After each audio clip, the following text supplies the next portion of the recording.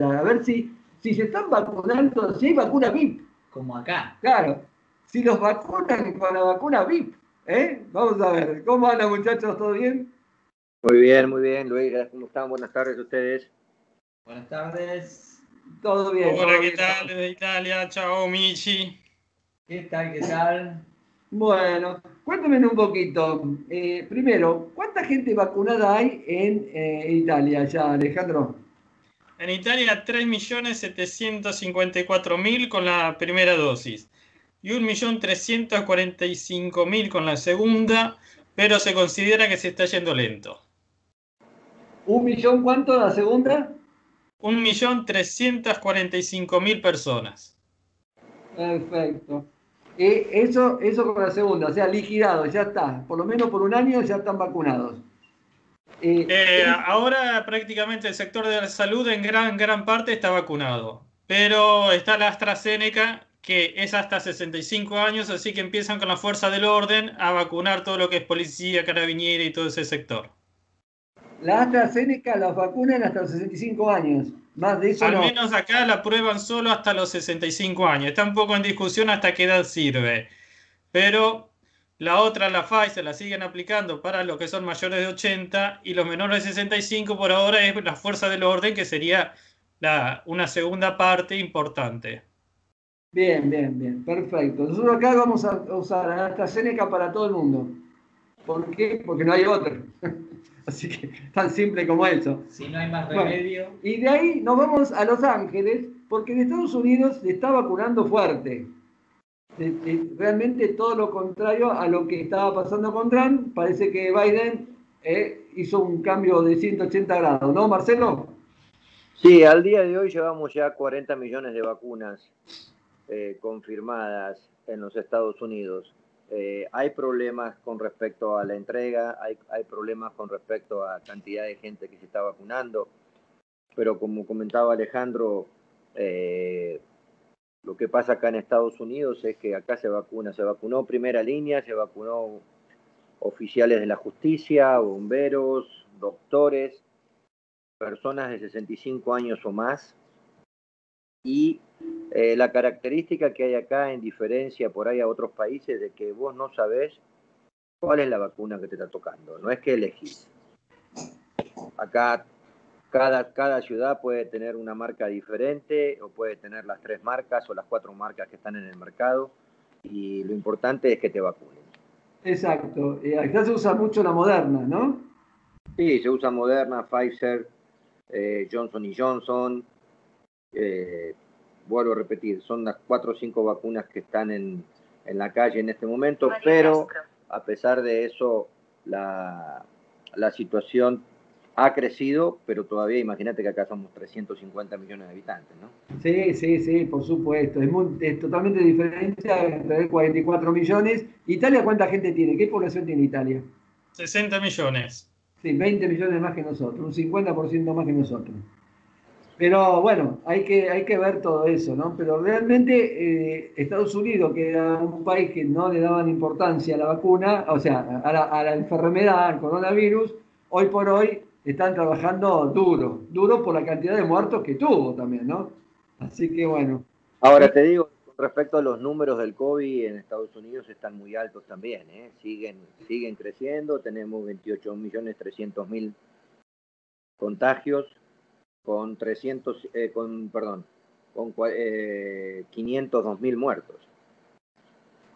Sí, que Trump había dicho que iba a haber 250 mil. Me acuerdo que va- vamos a tener 250 mil muertos. Es doble, 500 mil. Ya llegamos a los 500. Pero bueno, 500.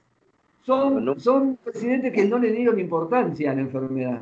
Nosotros tuvimos acá, desgraciadamente, una cuarentena que no era cuarentena, era centenia, milenia, ya era una cosa de loco. Tuvimos siete meses metidos adentro para tener 51 mil muertos, ¿no? Estamos hablando de un número importante que tenemos nosotros. Sí, sí, seguro. Así Seguro. que bueno. Y, y sobre todo ahora cómo se está jugando, porque no tenemos vacunas. Nosotros, esta noche, mañana va, mañana van a llegar las vacunas chinas. La Sinovac. Ah, van a llegar las vacunas chinas. sí, Se hizo el millón. contrato.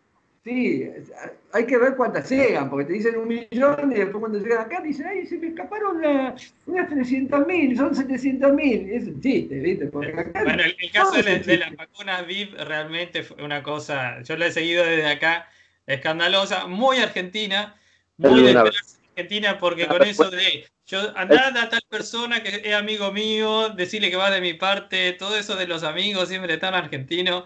Yo te digo, acá en Italia, si vos sos amigo de alguien que vas a un comercio o a una actividad, un médico, sos amigo o no sos amigo, no hay diferencia. Si vas conocido de alguien, no hay diferencia. Cada uno hace el trabajo que tiene que hacer y basta. No es que te va a tratar mejor o peor. ¿Entendés? Entonces cada uno hace lo que tiene que hacer y punto. Perdón que, esto, eh, perdón que diga esto y no quiero ofender a nadie porque yo soy argentino como ustedes y lo llevo en el pecho todos los días de Dios, pero eso se llama educación. Claro. Es, que es como vos decís, es falta de educación. Eh, nos quieren hacer cada día más ignorantes, más, más eh, ¿cómo te puedo explicar? Más corrupto. Más, más berretón, somos un país berreta. Siempre me gustó esa palabra, somos un país bananero. Bananero. Ah, eh, así... Para mí el problema es que algunas cosas son difíciles de entender porque son muy conceptuales, como por ejemplo el concepto de Estado. En Argentina, cuando hay que pedir dinero, el Estado todos saben lo que es, pero el Estado somos todos, dice la frase. Cuando hay que repartir las vacunas, ahí el Estado no está. Dame la vacuna a mí, no me importa el resto. Entonces, cuando es pedir dinero, el Estado está, yo quiero que el Estado me dé, pero cuando es realmente preocuparse por los demás, yo me paso la fila, me salto la fila y no es delito, dice, no es nada, no, simplemente es la viveza. Eh. Pregunta, de, pregunta de Estados Unidos esta. Si esto pasó en Buenos Aires, ¿qué pasó en las diferentes provincias que tenemos? Y bueno, es lo que está pasando ahora que muchos fiscales en cada provincia están pidiendo el listado de la gente vacunada para enganchar justamente a los vacunados VIP. Pero muchos vacunados como no es obligatoria la vacuna, o sea, vos podés no vacunarte, no van a estar en la lista, porque van a decir, no, no, no te pongo porque podemos correr riesgo de que después nos enganchen. ¿Y qué pasa? Hay mucha gente que no va a figurar y va a estar vacunada. Total, ¿qué problema? Y acá pasa todo, como decía don Julio Grondona, eh, todo pasa, él decía. Bueno, acá pasa todo. Puedo darte una opinión sin saber mucho porque no estoy en y no conozco mucho el tema, mi opinión desde afuera, Berbisky lo hizo a propósito. Sí, sí, sí, lo que creemos todos. porque el domingo Clarín iba a sacar el listado con todos los, eh, los vacunados VIP. Entonces, como él iba a salir, iba a quedar peor todavía, mandó al frente a todo el mundo. Y lo hizo a propósito para divertirse un rato nomás, para ver lo que menos pensó es que iba a tener tanta repercusión, porque acá piensan que nada tiene repercusión. El 27 de febrero ahora va a haber una marcha, va a haber una marcha, y ahí te vas a dar cuenta la repercusión que tiene esto. Sí, eh, pero las vacunas pueden salvar vidas, Luis. ¿eh? Esto es, sinceramente, esto es una vergüenza mundial lo que está sucediendo en Argentina. Por cada vacuna que se dieron ellos, puede haber un muerto de más de 60, años, un médico muerto que no se la pudo dar, que no, no tenía, un enfermero, un maestro. Estamos hablando de algo que es grave, pero para el presidente de la nación es una payasada lo que se está hablando. para mí tampoco es casual que él se fue a México. Se fue a México enseguida para tratar de no estar en el país mientras explotaba todo esto la clásica de volver cuando la cosa, las aguas están más calmas. Eh, te cuento algo que, tiene que ver con esto acá en Italia. Hubo 14 enfermeros en Génova que no se quisieron vacunar. Los 14 terminaron enfermos, terminaron contagiados. Entonces acá está la discusión. ¿Pueden ellos decirle que no a la vacunación? Inclusive el ente nacional que se encarga de lo que es la protección ante un accidente de trabajo, porque acá el sistema es, vos tenés un accidente de trabajo, el problema que sea, automáticamente te protegen. Pero después abren una investigación para ver si vos estabas trabajando correctamente. Porque si estabas trabajando mal, no tenías las medidas de seguridad, usabas mal la maquinaria, etcétera, no te cubre y te tenés que pagar vos todo el tratamiento de salud o lo que haya que hacer. Entonces ahora está en discusión. Si ellos eran enfermeros, no se quisieron vacunar, ¿hay que cubrirlos o no? Como la vacunación no es obligatoria, podrían llegar a ser cubiertos. Pero la falta de profesionalidad de estos enfermeros que en el hospital, en donde uno va a sanarse, ellos se contagian y te contagian a vos, al inicio podía ser hace un año, pero que suceda ahora que están las vacunas disponibles, entonces ¿en qué quedamos? No, no, en eso tenés toda la razón del mundo. Tiene, o sea, el enfermero y el médico no puede negarse a vacunar, porque si no, no puede trabajar. Porque es como vos decís, está enfermando a otro. ¿Eh? Porque desgraciadamente, con su enfermedad enferma otro. Pero para mí acá también, perdona, ¿qué decía Marcelo? No, disculpen, eh, no se puede cerrar el círculo, el círculo va a estar abierto siempre. A, a, mí lo que me parece que acá es la cuestión de que los, los gobiernos necesitan tener autoridad. Cuando uno es un nene, cuando uno es chiquito, te llevan a vacunar. ¿Qué nene quiere vacunarse? Nadie. Pero están los padres que te llevan y te obligan. Porque el padre, la madre, tiene la autoridad, la obligación y responsabilidad sobre el nene. Cuando uno es adulto, ¿quién es la autoridad? El gobierno. Entonces el gobierno te tiene que obligar a que vos te, te vacunes. Pero no amenazarte con la cárcel, que te amenace con una multa. Pero te tiene que obligar a que te vacunes. Si no, no podés trabajar. No podés trabajar en ese, sistema. ¿eh? Estamos a un paso. Estamos a un paso de que van a salir a la calle en muy poquito tiempo los pasaportes inmunológicos.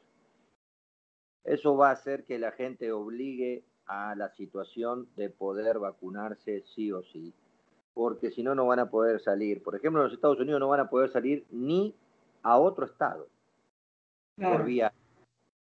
Se está trayendo un problema a las aerolíneas en este momento, hay un conflicto político y económico muy grande a consecuencia de esta situación, de la ley que está poniendo Biden con respecto a la vacunación. Porque hay mucha gente que está en contra de la vacuna.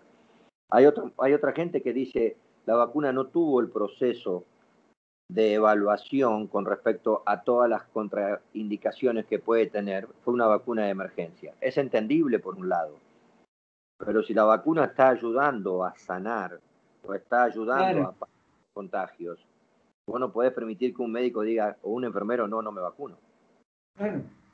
Bueno, para mí lo que dice Marcelo es súper importante, que es lo de tener un documento, un pasaporte que demuestra que vos fuiste vacunado. Que acá hay algo muy moderno, que es que el derecho a la privacidad, el que te van a discriminar, que todo eso. A mí me parece que discutir eso sobre un documento de vacunación no tiene sentido, porque es necesario saber si estuviste vacunado o no, no que vos me lo digas de palabra. Yo en el trabajo, si tengo que trabajar con vos, me gustaría saber si fuiste vacunado o no. ¿eh? O si tengo que estar en el avión, saber si estuviste vacunado o no. Se pueden organizar las personas también. Si mitad de los trabajadores, una tercera parte en el lugar de trabajo estuvieron vacunados, podés poner a las personas de modo que no se contagien entre sí. Es decir, me parece que es muy importante porque no es una vacuna cualquiera. No es, no es contra, qué sé yo, un, contra, ¿cómo es eso de, del metal, del óxido, eh, antitetánica. Eh, te la podés poner, no te la podés poner, es una opción tuya. Pero acá estamos hablando de algo que realmente el sistema económico está cayendo, está, ha caído ya. Entonces es más que la salud de todo el sistema. Exactamente, totalmente razón. Bueno, eh, a ver, cuéntenme algo más.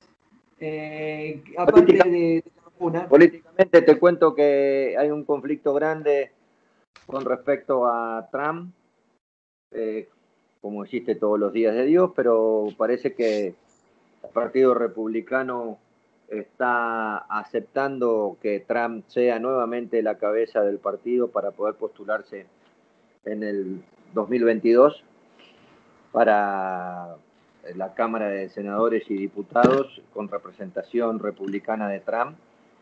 Eh, Biden sigue con muchos conflictos eh, políticos, económicos, por sus decretos que se han firmado. Eh, ahora hay un conflicto muy grande con Texas porque no está dándole el gobierno federal, no le está dando la ayuda que se merece Texas porque ahí está Ted Cruz que fue una persona que fue muy contra de Biden.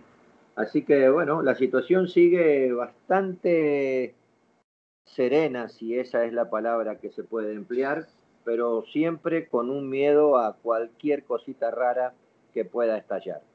Así estamos viviendo hoy en los Estados Unidos. Perfecto. Y eh, Alejandro, ¿qué novedades tenemos en Italia? En Italia el lunes, hace dos días empezó el nuevo gobierno, hasta ahora súper tranquilo, muy calladito, yo me esperaba un paquete de medidas, algo así, hasta ahora prácticamente no están diciendo nada.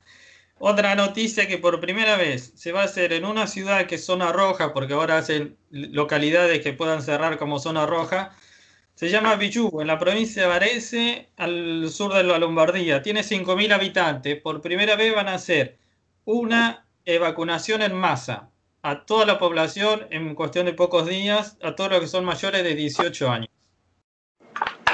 Perfecto. Perfecto. Bueno, eh, Marcelo, para despedirnos de Estados Unidos, ¿qué nos podés decir? Eh, bueno, te quiero eh, comentar que el tema político está muy complicado, muy complicado y eh, no se sabe qué va a suceder con respecto al 4 de marzo, porque el 4 de marzo es una fecha crítica para poder definir las situaciones de todas estas demandas que hubo en noviembre 4, noviembre 5, noviembre 6 con el conflicto también del Congreso, así que el 4 de marzo va a ser un día decisivo con respecto a la Corte Suprema para poder definir estas situaciones. Eh, y la última noticia que te doy, el Estado de Nueva York, la Corte de Nueva York, dio a favor de que Trump tiene que presentar sus taxes a la ciudad de Nueva York porque eso lo decidió la Corte Suprema. Perfecto. Eh, les agradezco a los dos. ¿Tenés algo más, Ale? Algo cortito. En Madrid, durante el fin de semana, la policía intervino en 227 fiestas privadas no autorizadas. 227 en un fin de semana solo en la localidad de Madrid, no digo toda España. Así que bueno, la gente también tiene que comportarse, ¿no? Bien, argentinito eso, ¿eh? bien, bien, Pero bien, he, visto un video, he visto un video donde la policía entra, se filma mientras trabaja, entra en un departamento normal, levanta un colchón, hay dos jóvenes abajo, corre el colchón, hay otro joven ahí, abre el armario, hay dos jóvenes dentro. Entonces, bueno, ¿qué quedamos? y España cambió mucho España está complicada. Valencia ya tiene el toque de queda a las 18. Madrid tiene el toque de queda a las 23 y autorizó los bares hasta las 23.